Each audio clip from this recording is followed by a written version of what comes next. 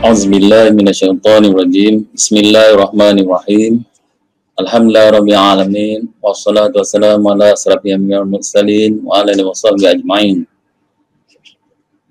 Pada yang berbahagia sekalian, Assalamualaikum warahmatullahi wabarakatuh dan salam sejahtera. Terlebih dahulu, saya mengucapkan tahniah atas kajian anda menjadi seorang pelajar Universiti Teknologi Mara UiTM dan selamat datang ke UiTM Cawangan Johor. Selamat datang ke alam misi kepada semua mahasiswa intake Mac Ogos 2021 iaitu seramai 36 pelajar pra-diploma 249 orang pelajar diploma kampus Gamat dan 65 orang pelajar kampus Pasir Gudang serta 410 pelajar ijazah sejana muda dengan jumlah keseluruhan seramai 760 orang pelajar. UiTM Jangan Johor telah melalui sejarah pembangunan yang cukup panjang sejak pembukaannya di negeri Johor ini seawal tahun 1983. Semenjak itu, menyewa rumah kedai di Bukit Siput yang dirasmikan oleh Menteri Besar pada ketika itu Datuk Abdul Ajib bin Ahmad.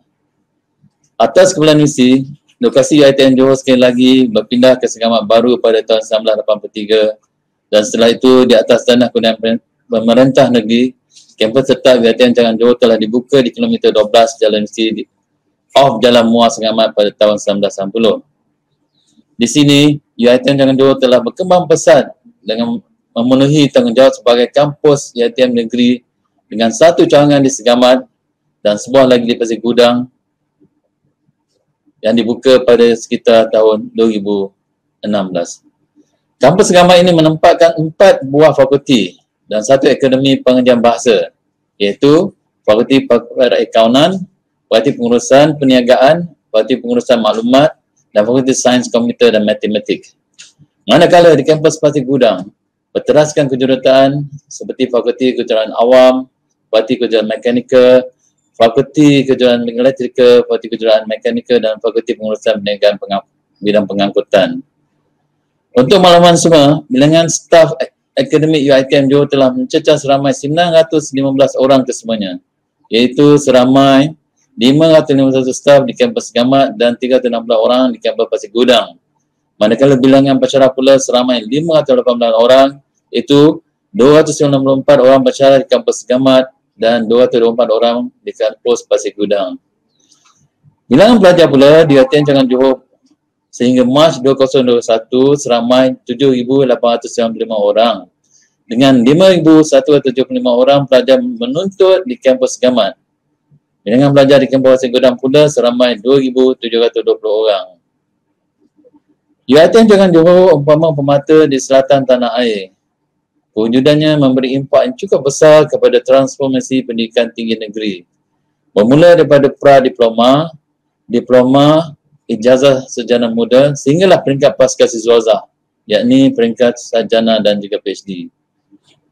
Kewujudan UiTM Jangan Dua memberi impak positif kepada sosioekonomi tempatan di daerah Segamat dan juga Pasir Gudang. Filosofi Education 5 amat menitik beratkan kepada konsep adab dan amanah. Oleh itu, saudara dan saudari sekalian, pendidikan tidak sahaja berlaku di otak tetapi juga pada pembentukan jiwa atau kalbu masing-masing. Supaya seimbang ilmu pengetahuan dan ke arah mana ilmu itu digunakan. Kita tahu bahawa majikan mahukan graduan lebih daripada sekadar kecemerlangan di atas kertas. Seharusnya bakal graduan dilengkapkan dengan set ilmu dan pengetahuan dan kemahiran di abad ke-21. Teknologi yang berkesan dan fleksibel seperti augmented reality, virtual reality, mobile and IoT, Internet of Things dan pelbagai platform pembelajaran atas talian seperti Google Classroom, Zoom, Google Meet, Microsoft Teams dan lain-lain. Dengan norma baru era COVID-19, sesi pembelajaran tidak lagi berlaku hanya di dalam kelas. Sebaliknya, ia bersifat hybrid, iaitu gabungan pembelajaran secara atas talian atau online distance learning. Dan ianya berlaku dalam bentuk open distance learning dan bersemuka atau face to face. Hampir setahun sesi pembelajaran dilaksanakan secara ODL, Open Distance Learning, bermula pada Mac 2020 dan telah berlaku perubahan yang amat drastik kepada landscape pembelajaran universiti. Pelajar tidak lagi datang ke kuliah sebaliknya belajar di rumah secara online. Cara atas talian membentuk Open Distance Learning ODL.